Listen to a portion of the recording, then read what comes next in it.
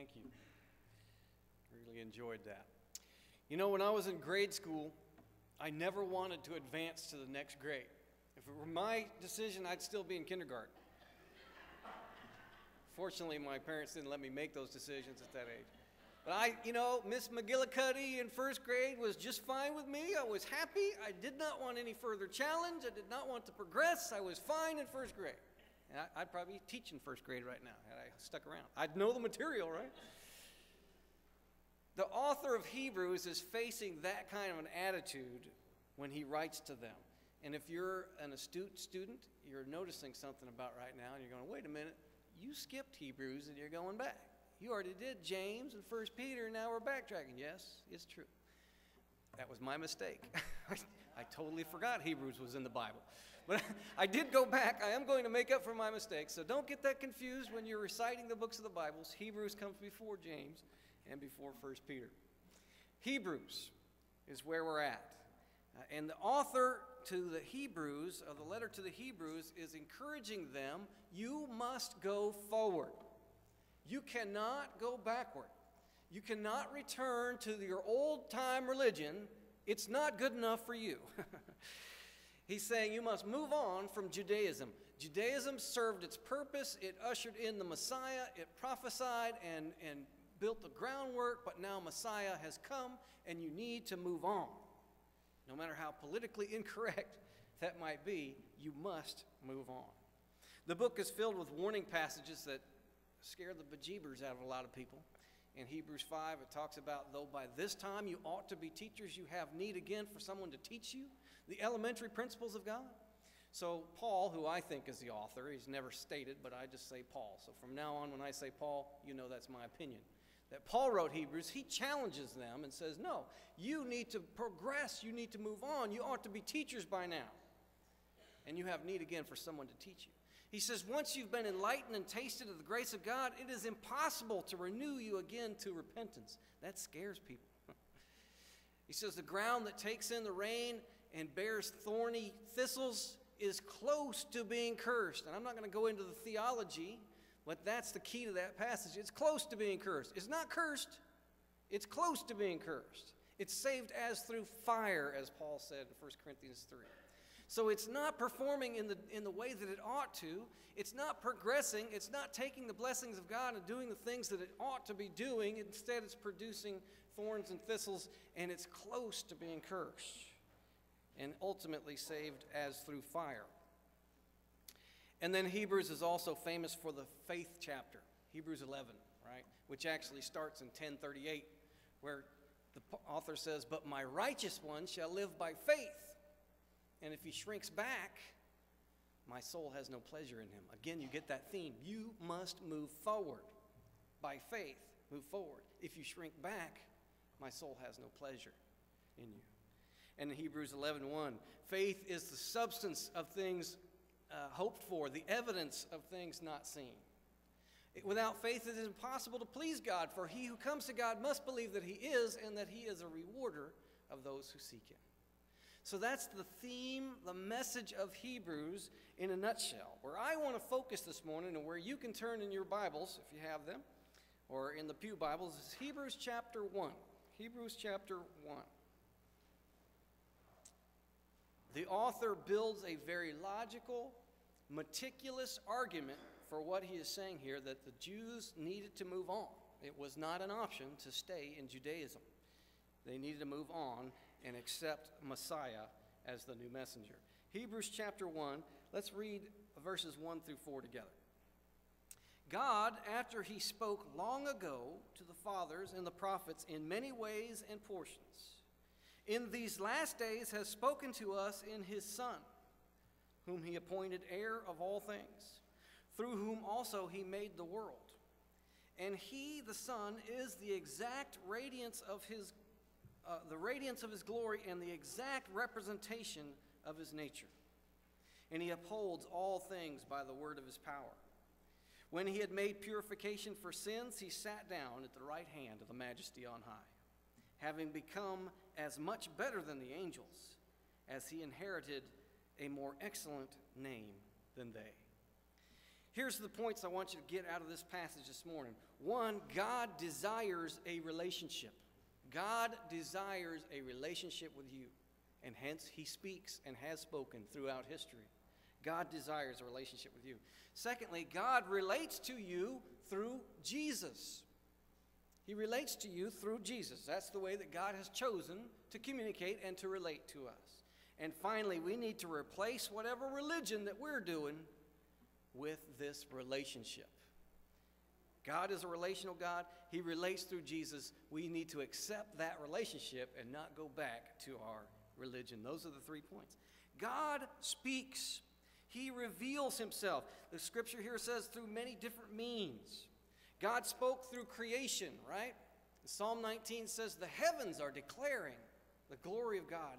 The, the, the heavens are uh, talking of His handiworks. He speaks to us through creation. He speaks to us through conscience. Paul wrote in Romans 1 that those who did not have the law, you and I, the Gentiles who were not privileged with the law of Moses, have the law written on our hearts, our conscience. So God speaks through creation, He also speaks through conscience. He speaks through canon, that book you're holding. What a precious, precious letter from God. God speaks through that book. Timothy, to Timothy, Paul wrote, All scripture is inspired by God and profitable for reproof, for correction, for training in righteousness.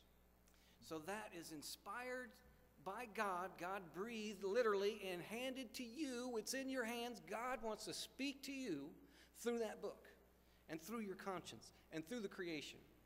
But that's not all. God in times past also spoke through dreams and visions and these weird things called the Urim and Thummim that the Israelites used to use. I don't know what they were. I think they were lots that they cast to determine the will of God. God spoke through fleeces to Gideon. God spoke through miracles and prophets. He spoke through his spirit. He spoke through angels. So God, throughout history, has been attempting to communicate with us. God speaks. Why? Because he wants a relationship with us, he wants to relate to us. When I was in college, I got the big idea one Christmas holiday that I wasn't going to go home. I don't know what was going on, that there were probably some circumstances around it, but I decided I was going to stay in the dorm over Christmas. And hey, I had plenty to do. I was going to decorate my dorm room. It was all of 15 by 15, and I figured that would occupy me for the two weeks of the holiday break. After about five minutes, the room was decorated, and I was lonely. that was a very lonely time. There was nobody else in that whole dorm. The campus was abandoned, there was nobody around. And though I'm an introvert and I like being alone, that was getting to me. You know, I was doing the Jack Nicholson, you know. Here's Johnny. I was I was lonely and I remember going to the Lord and praying, God, I need a friend. I need someone to to fellowship with. I need a, a soulmate and I walked over to the Baptist Student Union, and guess who I met? She's sitting right here, my wife of 27 years. God gave me a friend. She's been a great friend. My point is, I'm not designed to be alone. God said that in Genesis. Remember, it is not good for man to be alone. Amen. I am with you, Lord, on that one. It's not good for me to be alone. You know why we're like that? Because God's like that. We're created in His image. It's not good for God to be alone. He wants to relate to us. He wants us to relate to Him. He wants to have a relationship with us. God reveals Himself. He doesn't conceal Himself, He's been revealing Himself through the ages. And the amount of revelation that you get is correlated to how much you want. Somebody said you're as close as God as you want to be as close to God as you want to be. That's true. The, God will reveal himself to you in, in correlation to your relationship with him. Relationship leads to revelation. Isn't that true in our human relationships? As we relate, we begin to share more and more about ourselves, and that relationship grows stronger and tighter.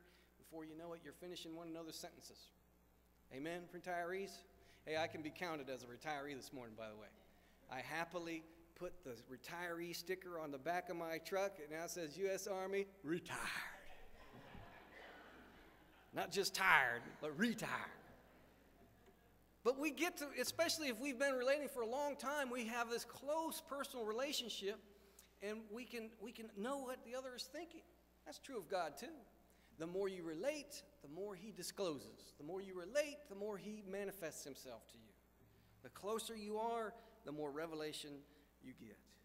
So the application here is we need to seek, we need to listen, we need to receive that revelation, we need to believe, we need to take the time to spend with the Lord to hear from Him, right? We go through our busy weeks and we never think that maybe I should sit down and just think and listen and hear from the Holy Spirit for a little while. Or maybe read this book and hear what he has to say to me through this book. Or go to a fellowship where you're interacting with other people and they can tell you what the Lord's saying to them. And all of a sudden, hey, you know what? I had that same experience. That's how God relates to us. And he desires that relationship.